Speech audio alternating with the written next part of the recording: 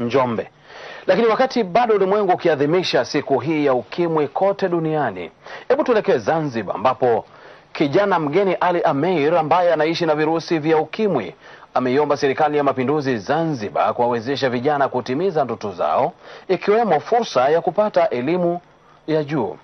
Mwandishi wetu Kuruthumu Ali amemtembelea kijana mgeni na kufanya naye mahojiano, na ifuatayo ni taarifa yake.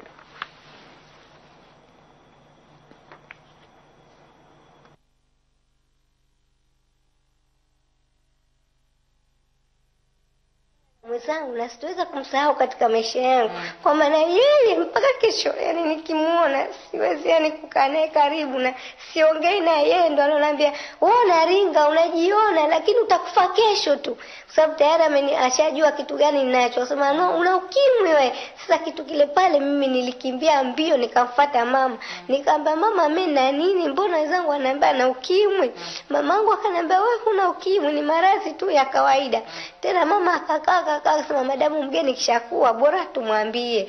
Kwa hiyo mi jambo la kwanza hakuniambia nyumbani waliniandikia barua nende mnasi mmoja. Ilikuwa tarehe kumi na tano mwezi wa kumi na moja elfu mbili na na sita. Pamoja na mafanikio yote aliyoweza kuyapata, lakini huzuni kubwa aliyokuwa nayo ni kukosa ufadhili wa kusomeshwa elimu ya juu, jambo ambalo ameliomba serikali ya mapinduzi ya Zanzibar kuliangalia kwa jicho la huruma.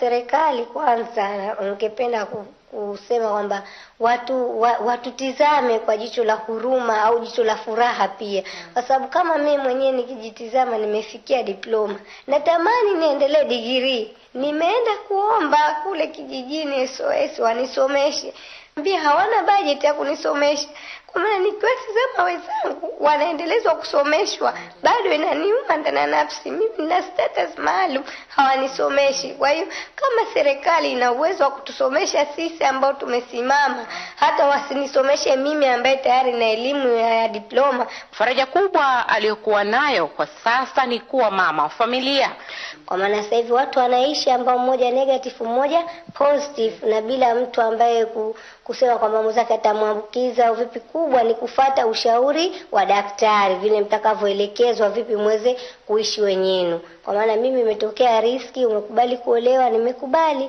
sawa, tumeelekezwa jinsi ya kuishi sisi wawili, mimi na yeye. Kwa hiyo sasa hivi tunaishi na tunashukuru, ila hatuja plani kuzaa, kwa sababu unapotaka kuzaa lazima mkae wenyewe wawili, mpange jinsi ya kuweza kuzaa. Takwimu za sasa zinaonyesha kuwa maambukizi ya virusi vya ukimwi kwa upande wa Zanzibar yamefikia asilimia moja kutoka asilimia sifuri nukta sita ambapo vijana na wanandoa ndio waathirika wakubwa. Nikiripoti kutoka hapa mjini Unguja, Zanzibar, mimi ni Kuthumwali wa TBC.